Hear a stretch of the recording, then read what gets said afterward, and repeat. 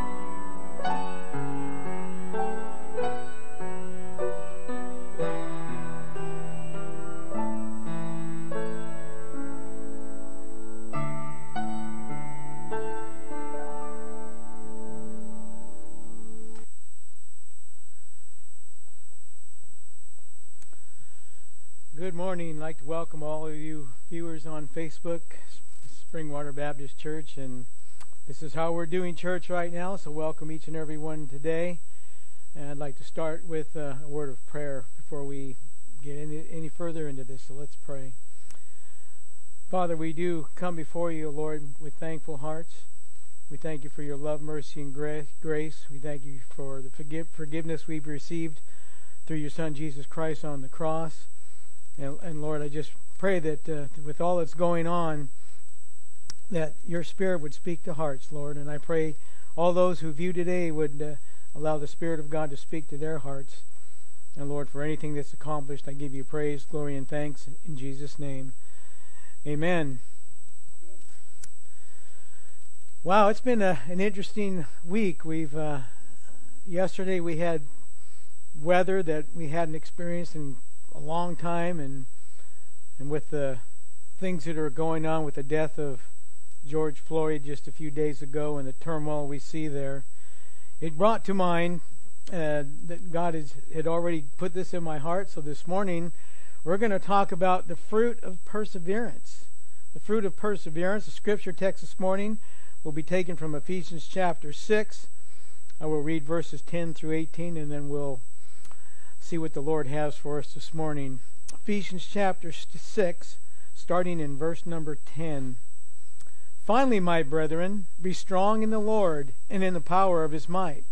Put on the whole armor of God, that ye may be able to stand against the wiles of the devil.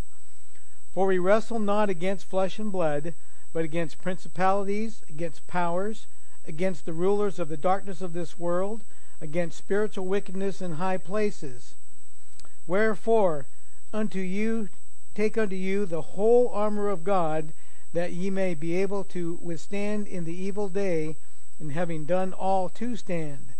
Stand therefore, having your loins girt about with truth, and having on the breastplate of righteousness, and your feet shod with the preparation of the gospel of peace.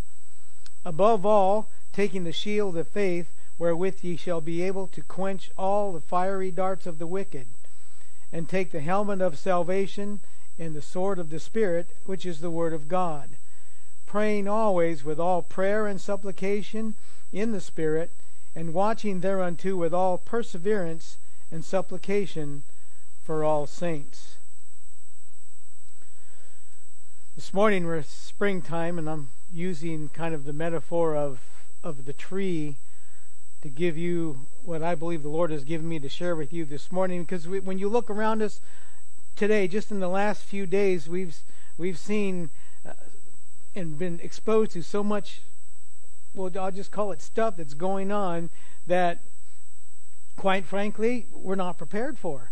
Uh, these things are just things that that happen. True, weather weathermen do make an attempt to give you kind of what's coming along, but but to actually experience it, when we had the thunderstorms yesterday, our could actually feel the house shake. That's the first time that's ever happened.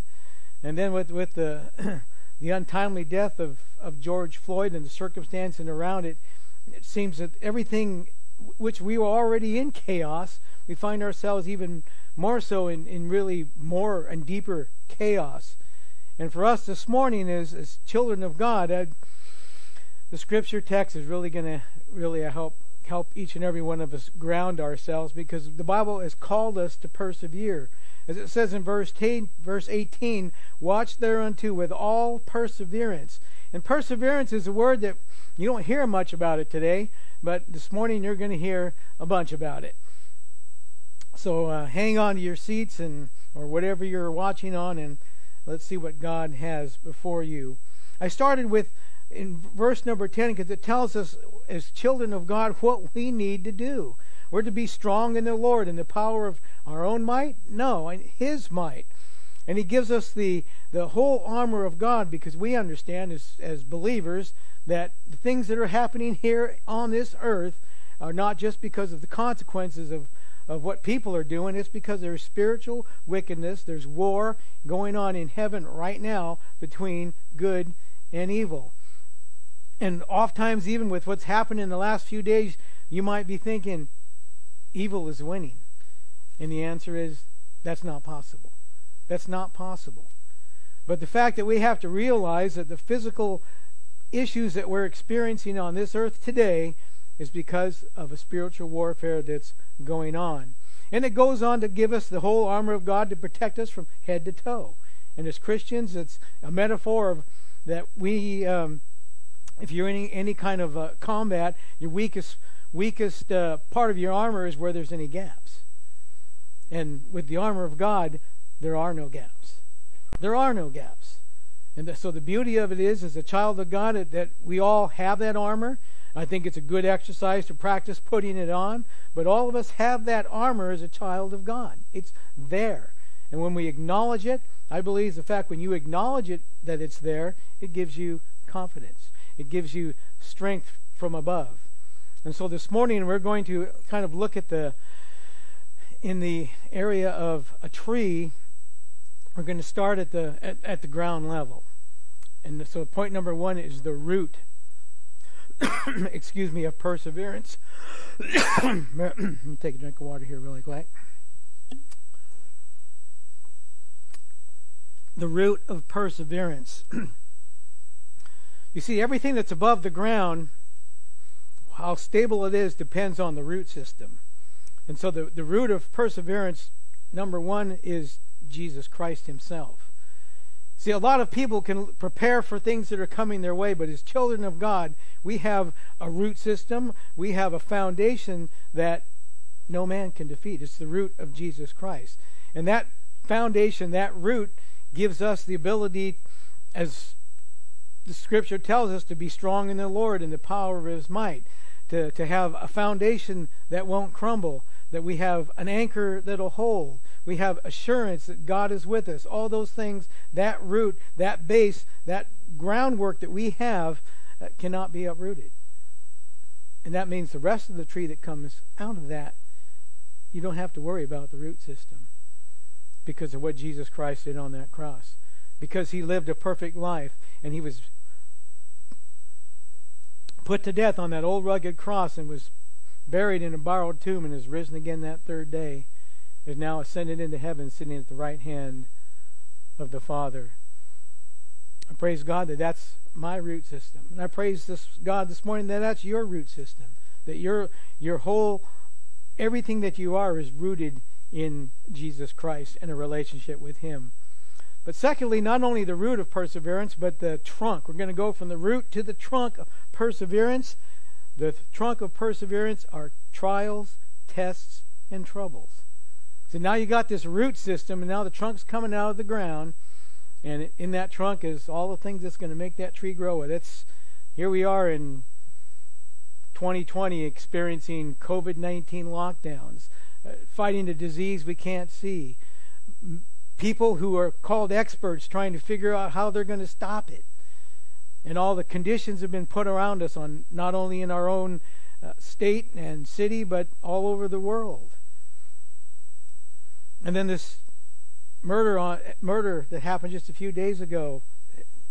Th- those are all trials. Those are all tests.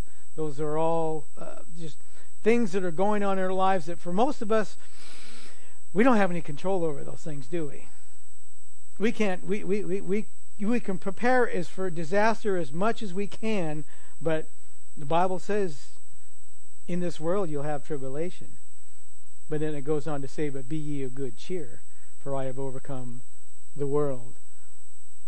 So without tests and trials and troubles, our faith is not going to be strong. Our uh, ability to persevere. We're not going to have the, the, the training and the experience to, to persevere. See, a lot of things when come our way, what's the first thing we want to do? We want to quit. Why? Because it's the easy way out. But for a child of God, uh, there is no easy way out. There's only the only way that's going up. But so we're here. We're, we're called to persevere. I'm going to give you some scriptures in First, Second Timothy chapter three, verse twelve, Paul told Timothy, Timothy this. He said, "Yea, and in all that will live godly in Christ Jesus shall suffer persecution." And persecution and and perseverance go hand in hand. Paul also talked about his troubles. You think we're having troubles here today? But with a lockdown and and cities being burned. That's a pretty broad picture. Let's go by look at one man's tests, one man's trials, one man's troubles. Comes from the book of Second Corinthians chapter 11. It's a little lengthy, but I think you'll get the picture. The picture. The picture that I want to paint for you this morning, because this is the most important part, is that uh, even though I can't say it, I want you to get it. Okay, you need to get this, but here it is. of the Jews, five times received I forty stripes, save one. Thrice I was beaten with rods. Once was I stoned. Thrice I suffered shipwreck. A night and a day I've been in the deep. In journeyings, journeyings often, in perils of waters, in perils of robbers, in perils by my own countrymen, in perils by the heathen, in perils in the city, in perils in the wilderness, in perils in the sea, in perils among false brethren, in weariness and painfulness, in watchings often, in hunger and thirst, in fastings often, in cold and nakedness, beside those things that are without, that which cometh upon me daily, the care of all the churches. That's a lot of trouble. That's a lot of trial. That's a lot of tests. And not only do these come externally, they're also coming from internally. We can place tremendous pressure on ourselves through, I'll give you some examples worry, setting unrealistic goals for ourselves, thinking negatively, negatively toward other people, not being thankful, and not rejoicing in the Lord. And all those things go against what we just read about in, in, in 1 Corinthians, I mean, in, in Ephesians chapter 6, about that we need to be strong in the Lord and in the power of His might. We need perseverance when we get ourselves into situations such as this. Just in our conversations this morning with just a couple of people, uh, you bring up what's, what happened over in, in Minneapolis, Minnesota, and it just stirs up all kinds of thoughts, all kinds of emotions, and how we personally might want to handle them. But that's not what God wants us to do. God, God wants to, to, to, for us to, uh, as we continue in this message this morning, to, to look at things through the Word of God, the biblical perspective on how we're to handle things. Peter said this regarding those who suffered various trials in 1 Peter chapter 1 verse 7 that the trial of your faith being much more precious than of gold that perisheth though it be tried with fire might be found unto praise and honor and glory at the appearing of Jesus Christ when we find ourselves in a time of trial and tribulation, we're not to fold, we're not to give up, but what? We're, we're, to, we're, we're to give praise and honor and glory because one day, use this word cliche, these words quite often, but this too shall pass. This time will pass. And as children of God, we'll get through it. And one day we'll be in glory. James said in chapter 1, verse 12, Blessed is the man that endureth temptations, for when he is tried, he shall receive the crown of life, which the Lord hath promised to them that love him. The crown of life. That's standing true for God, regardless of the circumstances. God has given us the ability to do that.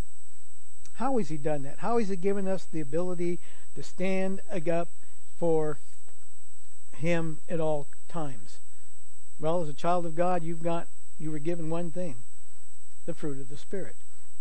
Now, if I'm going to read these off really quick, and if you think about all the f- one fruit, nine flavors of the of the of the fruit of the Spirit, you have everything you need to combat and to stay combat giving up and to stay in the fight, to persevere.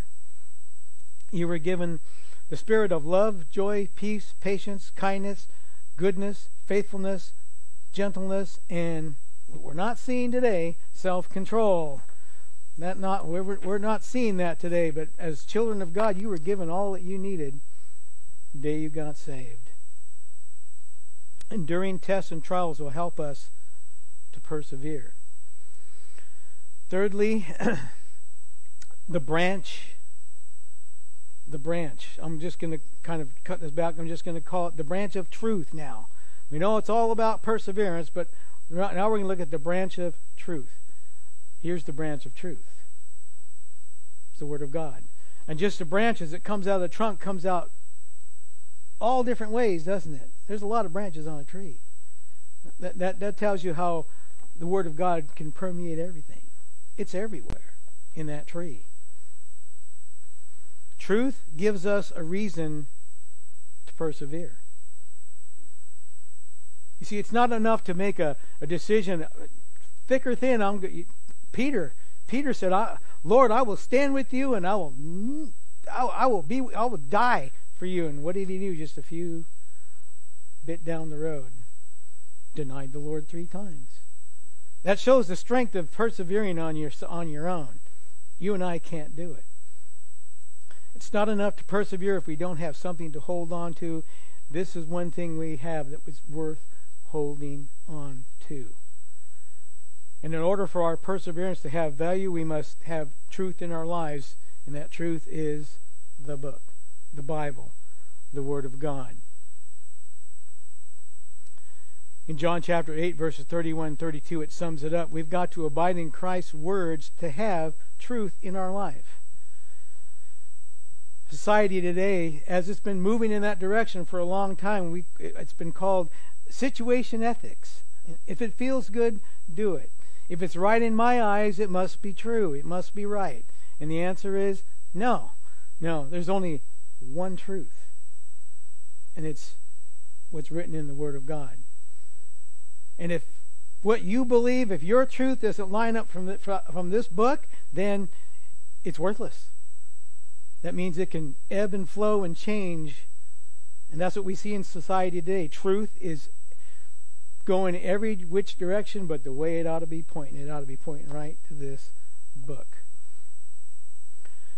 By persevering and doing what is right, we can be assured that our perseverance isn't empty. 1 Corinthians 15 58. This is, this, is, this is a great verse. And it's talking to believers. Therefore, my beloved brethren, be ye steadfast, unmovable, always abounding in the work of the Lord, for as much as ye know that your labor is not in vain in the Lord. I say amen to that because that's the truth that comes out of what? Comes out of the book. And if it comes out of the book, it's got to be right. Not like the internet. If it's on the internet, it's got to be right. No, no. If it's in the Word of God, it is. It not can't be right. It is right. And God is well pleased when, when we when we live a life that's based in truth. Hebrews 13:16 says, "But to do good and to communicate forget not, for with such sacrifices God is well pleased." Oftentimes the truth of the word of God means that we're going to have to make sacrifices. But if it's in this book, is a sacrifice worth taking? It goes back to Romans chapter 12 verse 1 where it tells us to be a, a living sacrifice, holy and acceptable unto God. You and I are living sacrifices. And let me tell you, it's an easy thing to make a sacrifice when you know it comes from truth. You know it's true and you know it's right. Then you can follow it, believe it, trust it, and move forward. Number four, the flower of time. Time. So we've gone from the root to the trunk to the branch. Now we're looking at the flower. And right now, there's you've seen a lot of flowers out there. Time is a necessary component to persevere. Why is that? Well, in order to persevere, that's that's telling you it's all based in what? It's based in time. We can't say we've persevered until a sufficient amount of time has gone by. When you were young, we all heard the question or asked the questions, are we there yet? Uh, we're not there yet because we're all gathered together here. You're watching watching on Facebook Live. Then no, we're not there yet because our there is glory. But here it is. when such a question is asked without a sufficient amount of time passing, we know that someone hasn't been persevering. You can only say I've persevered when you can look back and reflect on what God has done not what you have done, what God has done in your past. Because everything that happened BC before Christ, well, God was God was with you in that too. He was he was preserving you, but more importantly, what he did since the day you received Jesus Christ and what you've persevered since then. Because when you became a child of God, you had to make choices, you had to make decisions, you had to make sacrifices. And in all those things, when you look back to it, you you have you take knowledge, and then it becomes it's wisdom. And what's because once it becomes wisdom, it'll last. Repetition helps us to persevere. And the more we experience something, the better we are to endure it. But we recognize, however, that all the perseverance that we're going to experience here on this earth is temporary, isn't it? I didn't say that, but the apostle Paul did in 2 Corinthians chapter 4. He said this. and you can take this forever how you want it, but in spite of what we see going on today, uh, today's affliction that we are going through, it still falls into the category of light. 2 Corinthians 4 17 18 says, For our light affliction, which is but for a moment, worketh for us a far more exceeding and eternal weight of glory. While we look not at the things which are seen, but at the things which are not seen. For the things which are seen are temporal, but the things which are not seen are eternal. Psalm chapter 90, verses 9 and 10, this 9 and 10 says this. For all our days are passed away in thy wrath.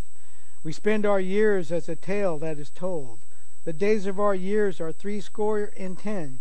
And if by reason of strength they be fourscore years, yet is their strength, labor, and sorrow, for it is soon cut off, and we fly away.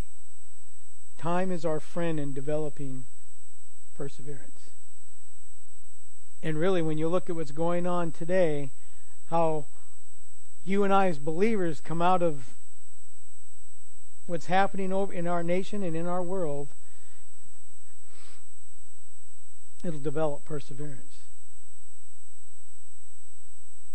So now we've gone from the root to the trunk to the branch to the flower. The last thing this morning is the fruit of perseverance. Perseverance is trust. The fruit of trust. In order to persevere, we need to trust in the Lord. Now,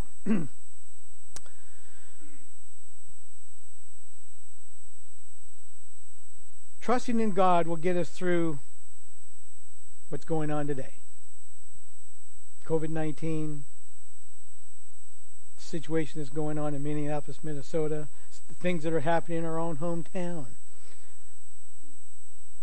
I watched some of the videos this morning of what happened in downtown Portland. And the, the flesh part wants to hmm, grab something and let's go take care of those people. But we, we have to, that's the flesh talking, that's not the spirit. the, the, the Bible says that the,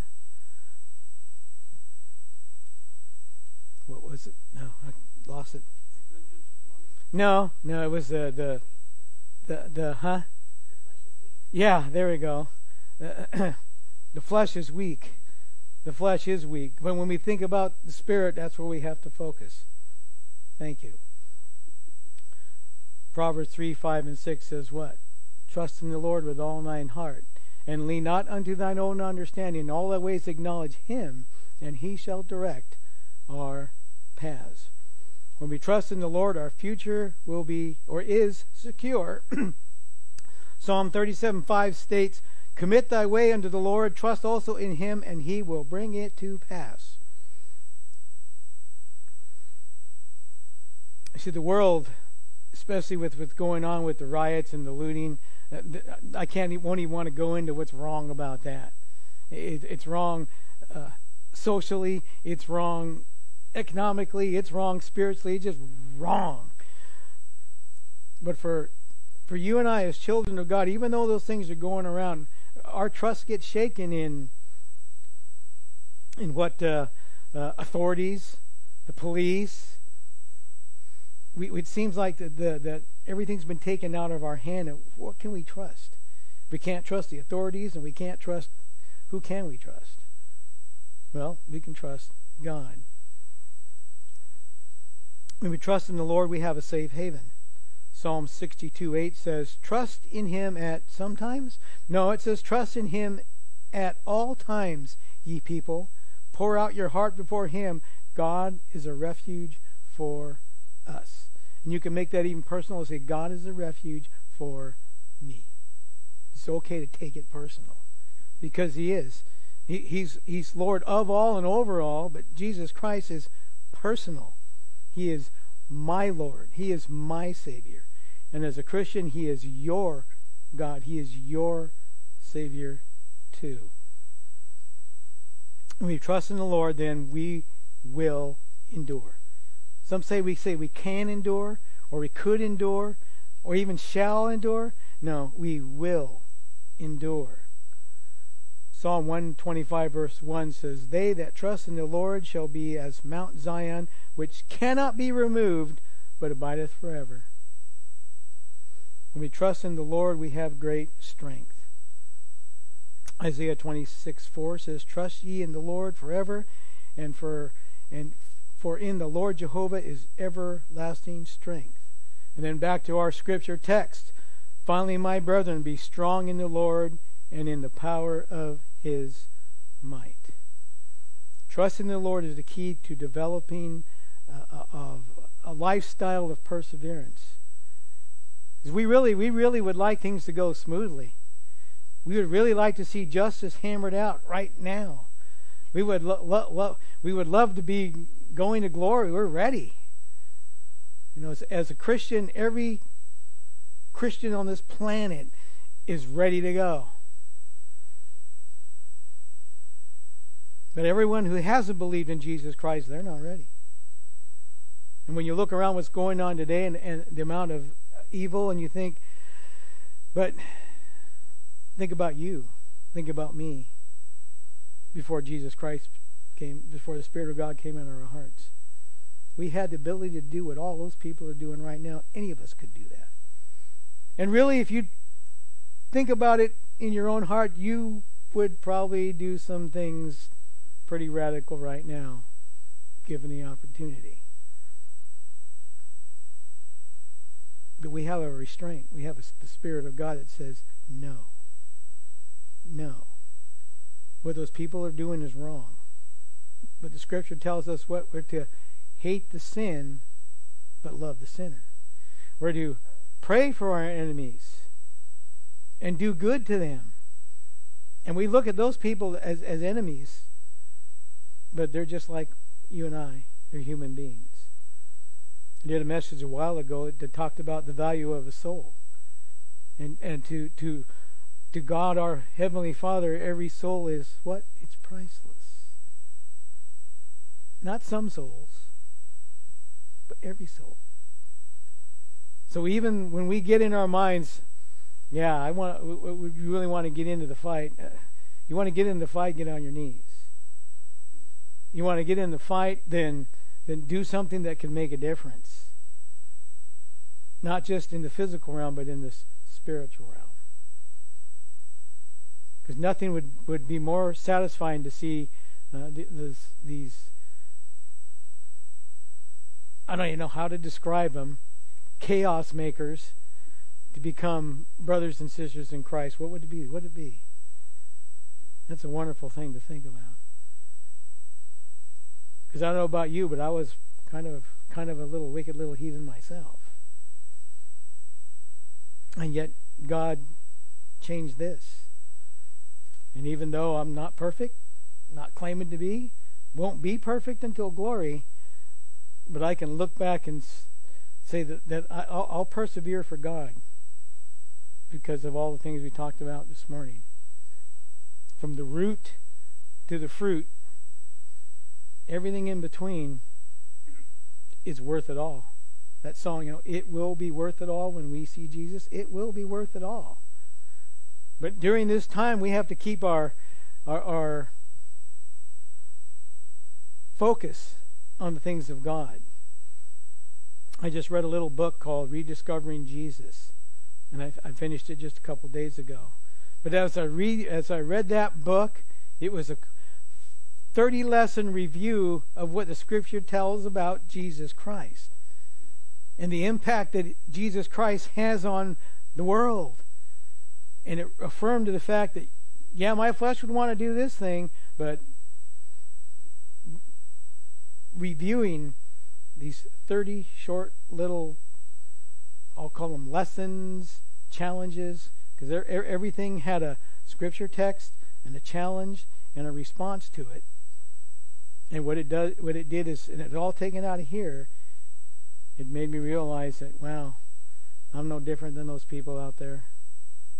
Because I want to do some of the same things that they're doing to them. May not be looting and rioting, but yeah, I want God to take care of them. Take care of them now. But that's not right. That's not right persevere means to stand for everything I've talked about this morning. And I pray that the root is part of who you are, that your root is Jesus Christ that's put you into the ground to hold you firm, that you have a relationship with Him. Not about religion. Religion has nothing to do with it. It's all about a relationship, a personal, one-on-one relationship with Jesus Christ. And that's my prayer this morning, is that you can say, I am one of His. My name is written in the Lamb's Book of Life. I am a child of God. And everything that's been said this morning about perseverance, uh, I'll keep my mouth shut and make promises that I can't keep. But in my heart, not like Peter, he made promises he couldn't keep.